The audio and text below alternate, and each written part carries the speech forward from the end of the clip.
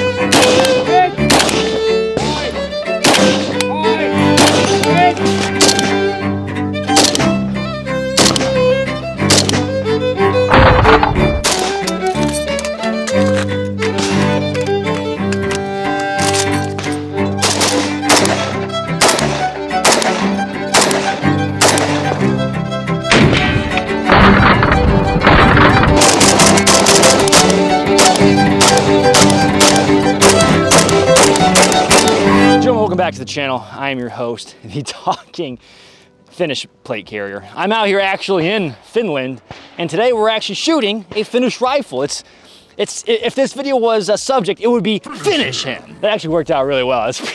It's, pretty good. Gentlemen, I know you're on the toilet. I know you're watching this, uh, finishing your beer. I know. Drinking your coffee, eating your baguettes. Make sure you like and subscribe. Leave a comment in the comment section down below. Your comments are a sacrifice to the algorithm god, a god of which who enjoys the sauna. Patreon and merchandise, excellent ways to support the channel. I love my Patreon users. Mwah! Big love to you guys. Merchandise helps out all the costs of the channel. Behind the camera is gonna be Blue Jean operator. Say hi, Blue Jean. Hey guys.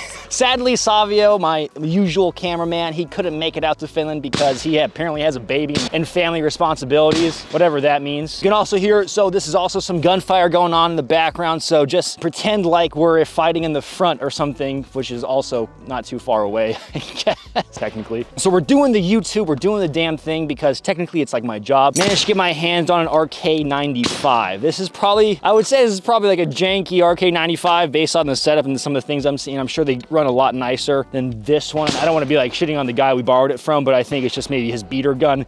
Uh, it's hard to say, but there's, I already got some B-roll of it, but there's some things going on here with the uh, charging handle.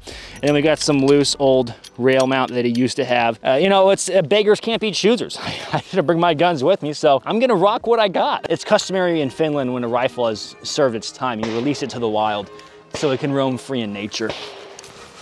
Father hell. I only ran a very limited amount of ammo. And this was due to the fact that person Yari, one of the guys that actually runs Varusteleka, who brought us out here, he was like, hey, um, I want you guys to be able to shoot, but sadly, this is like my wartime supply of ammo. And usually that's kind of like a, a prepper term of like, all right, whatever, you're being a nerd. But actually here, given proximity and its history to its neighbors, it actually kind of makes a lot more sense. Bear with me. So uh, me actually shooting, I didn't get to shoot as much 7.62 by 39 through the RK95 as Blue Jean will. So tomorrow, Blue Jean is gonna be running through Finnish Brutality and he's gonna have a much more in-depth experience with the RK95 platform. Or what, which one are you running tomorrow? Uh, it's the RK92, so it's a civilian equivalent of the RK95, just semi-auto. And it's gonna be a much nicer example of what you got running here.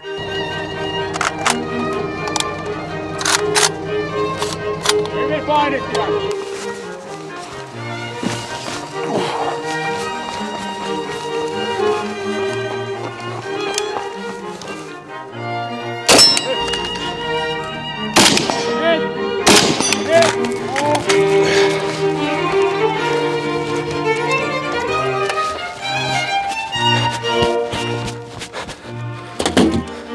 これこれこれこれこれ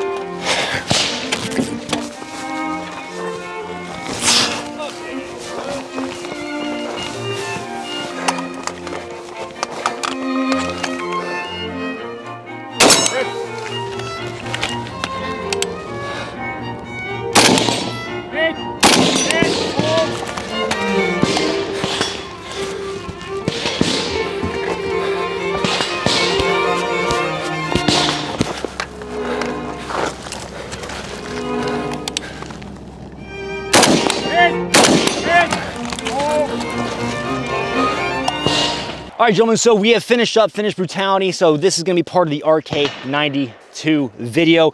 This is what Nick, Blue Jean operator here is running.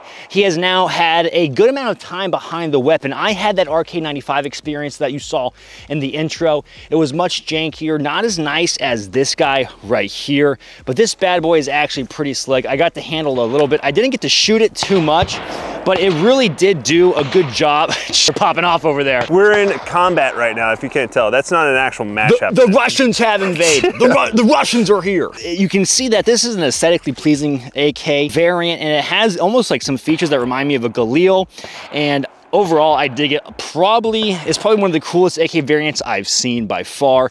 Of course, they have the far away sights. Uh, you know what? Before I dive to it, Nick, just tell me about it. What was like running? What you learned actually talking to the Finns that use it as their service rifle too. All right, so this is the civilian variant of the RK95, so the RK92. Pretty much the only big difference is that it is semi-auto. It's not full auto. What's kind of cool about the Finns here is they don't have really like the same type of SBR laws Yeah, the as we NFA have here. restrictions that we have. They kind of have to jump through a few more like hoops to actually acquire these guns. Essentially, they have to, I can't remember the exact time, they have to prove that they are a like a sports shooter or Mm-hmm. a hunter, which they do by you know getting just it's like a checkbox kind of thing and once they check that off they can own these type of weapons they can own what they call service rifles Right. and this is one of the guys I borrowed this rifle from a Finnish soldier who's a current soldier. The ammo I used was like their what is it called? The wartime stock. That their their wartime supply. It was some good Yeah. SAKO 762 by 39. So Finland is very big into like their internal defense via their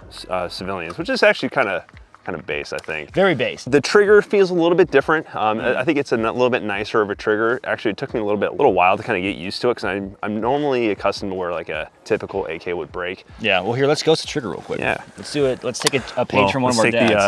the, uh, yeah. The, the, we, is range flag big, out. Big no, they're very big into safety at these matches, so we'll, we'll do it real quick. So yeah, we're, we're all safe. We'll uh, you put your finger on it, and then I'll put my finger on it. Okay, okay. This is how we do it here. Ready? All right. Yep. So we're going down. So there's actually like a nice little wall right there. That's there. a lot of travel. Yeah, this travel, it's not as much like, it's not as mushy, I don't think, as like an AK trigger, Yeah. but Whoa. but it actually breaks off pretty. Yeah. There it is. It's pretty, uh, it's a really nice trigger for an AK. Yeah. And, I want to I feel it all by my lonesome. yeah, Yeah. yeah, so you have that, and then you have a nice, you have a wall, just like Whoa, a what solid. That thing kind of, that thing's getting a little grimy in there. Yeah. Whoa, that- that's think- a little weird. I don't know if I love that, if I'm being honest. Hold on, you're doing my audience a disservice by being lower than me. You, you, Oh, you, gotta, be- there you you go. gotta, you gotta get a little bit higher. yeah. Like, I, I mean, they need to know how tall and angry and of a ranger you are. So the, the six three. Yeah, so there you go. I didn't do so as, as well as I was doing yesterday. Um, The first actually was actually kind of cool. Uh, the guy told me that this this optics that we're running comp um, M5 on here Very on a side rail. I'm not sure if this side rail is compatible with, I don't think it is compatible with, I don't think the side rail is the same on these things as a typical AK. But the first round I ever fired out of this gun was in the match and it hit that uh, 100, what, how, what was that distance? I think it was 150. 150 meters, um, and it was on a spinner target. So it was like a small kind of circle, And- which was actually yeah. really cool. It was like the first time I ever fired it, it hit that target. I was like, oh, cool. cool. It's zeroed. So it was zeroed, no complaints. You know, I think everything I missed was on me. I'm not, I'm not sure if I like the uh, charging handle kind of canted up this way because I'm typically used to them like sticking straight out, and it's easier for me to kind of. I'm a I'm an under the bottom kind of guy when I rack my my AKs, but. I like them kind of protruded more out, and I'm also not a huge fan get of. you're gonna get us executed here in Oh, Finland. fuck, frick, yeah. I'm not a huge fan of like this, this, I, I wish it kind of had that um, enhanced safety you see on a lot of AKs these days. So I have to, I had to do the old one where you have to use your, you know, your middle finger kind of to reach out like this, which isn't a huge deal once you kind of used to it. I'm more used to just the standard index finger to do that, but I will say there is something cool being able to watch you run a Finnish gun in a Finnish country. It's also a Finnish service rifle, right? He said it was his service rifle. Yeah, that's, that's why I kind of, running also very high quality Finnish ammo around high quality Finnish people. It's a very immersive experience. It's very cool, and it's something that like I I'm not taking for granted. So it's it's a real treat. Yeah, that was that's kind of why I um, requested this rifle uh, when we came here. So big thanks to Varusteleka. They provided pretty much everything you see on us right now, um, and they they were kind enough to lend me one of these rifles because I was kind of interested to see.